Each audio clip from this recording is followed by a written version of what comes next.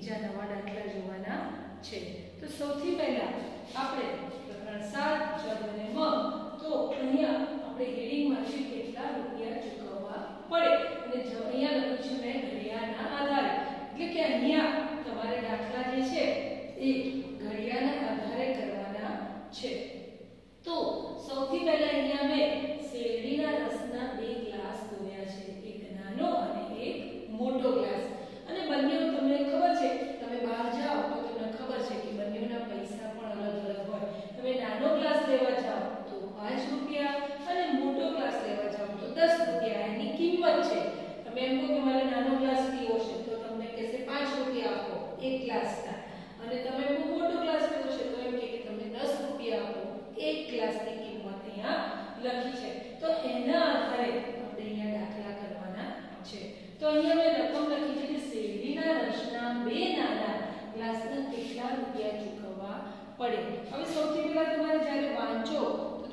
ખાસ વાંચનમાં એ યાદ રાખવાનું કે અહીંયા કયા શબ્દનો પ્રયોગ કર્યો છે? તો શેરડીના રસના બે નાના ગ્લાસ.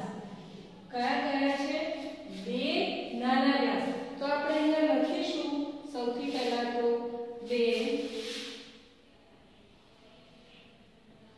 નાના જેવું અહીં લખ્યું છે એવું જ આપણે લખી દઈશું બે તો તમને બે કરતા તો આવડે છે બે નાના ગ્લાસ અહીંયા લખીશું નાના ગ્લાસ પછી આને કહેવાય ગુણાકારની નિશાની કહેવાય જે કરો છો એને ગુણાકાર કહેવાય તો આપણે અહીંયા ગુણાની નિશાની કરીશું તો અહીંયા લખ્યું છે બે નાના ગ્લાસ તો આપણે લખી દીધું બે નાના ગ્લાસ હવે અહીંયા ગુણાકારની નિશાની કરીશું હવે અહીંયા નાના ગ્લાસ કીધા છે તો આપણે પૈસા નાના ગ્લાસના જ જોવાના તો અહીંયા આપણે આવીએ તો નાના ગ્લાસના કેટલા રૂપિયા છે તો 5 રૂપિયા તો અહીંયા આપણે લખીશું 5 રૂપિયા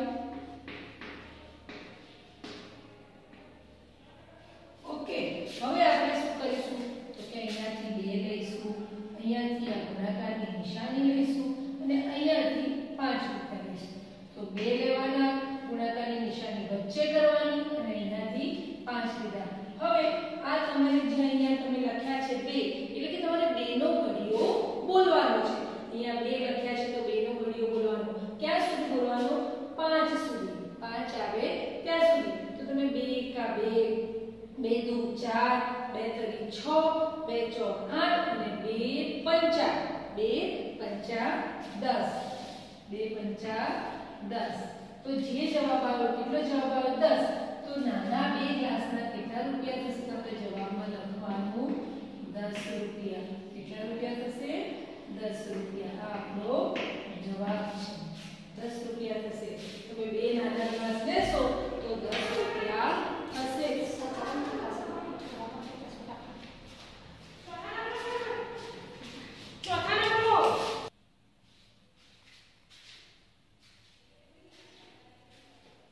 હવે અહીંયા મેં બીજી રકમ લખી છે કે શેરડીના રસના બે મોટા ગ્લાસના કેટલા રૂપિયા ચૂકવવા પડે તો સૌથી પહેલા આપણે નાના ગ્લાસના શીખ્યા તો હવે આપણે મોટા ગ્લાસના શીખીશું તો સૌથી પહેલા અહીંયા લખ્યું છે બે મોટા ગ્લાસ તો આપણે અહીંયા લખીશું બે મોટા ગ્લાસ પછી અહીંયા ગુણાકારની નિશાની કરીશું હવે હું અહીંયા તમને કેમ મોટા ગ્લાસ લખાવું છું તો મોટા ગ્લાસ લખો તો તમારે મોટા ગ્લાસના પૈસા જોવાના. નાના ગ્લાસ લખતા હોય તો નાના ગ્લાસના પૈસા જોવાના. તો એ મોટા ગ્લાસના શેરડીના રસના કેટલા છે? 10 રૂપિયા. તો આપણે અહીંયા લખીશું 10 રૂપિયા. હવે અહીંયાથી બે લઈશું. બરાબર? ગુણાકારની નિશાની કરીશું અને અહીંયાથી 10 લઈશું. હવે તમને ખ્યાલ આવી ગયો છે કે આપણે બેનો ઘડિયો બોલવાનો છે ક્યાં સુધી 10 સુધી 10 સુધી બોલવાનું છે. તો 2 થી શરૂ કરીને 10 આવે ત્યાં સુધી બોલવાનો છે.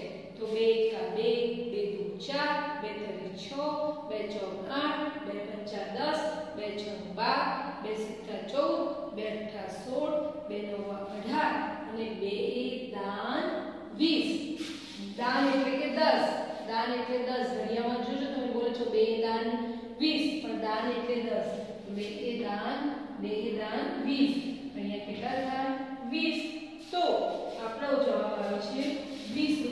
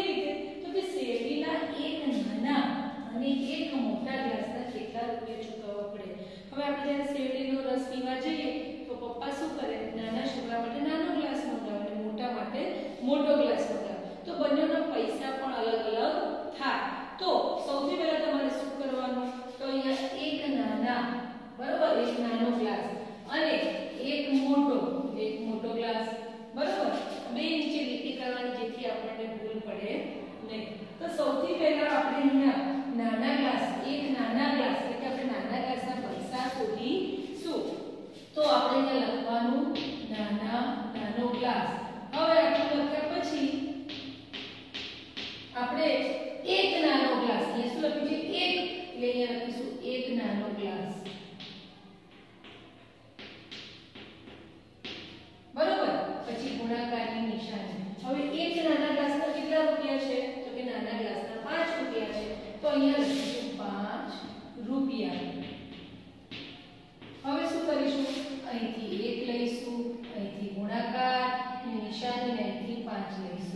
હવે એકનો ઘડિયો પર સુધી બોલવાનો એટલે કે એકનો ઘડિયો આગળ વાળો છે ઘડિયો છે.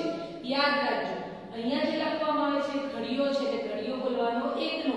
એકનો ઘડિયો ક્યાં સુધી બોલવાનો પાંચ સુધી. તો એક એકા એક એક દૂધું એક તરી ત્રણ, એક ચોક ચાર, અને એક પંચા પાંચ. તો આપણો જવાબ આવે પાંચ. તો જવાબ આવશે પાંચ રૂપિયા સના નાના ગ્લાસ રૂપિયા થાય હવે આગળ જોઈએ તો હવે આપણે મોટા ગ્લાસનું પણ શોધવાનું છે. નાના ગ્લાસનો જવાબ આવી ગયો પાંચ રૂપિયા. હવે એક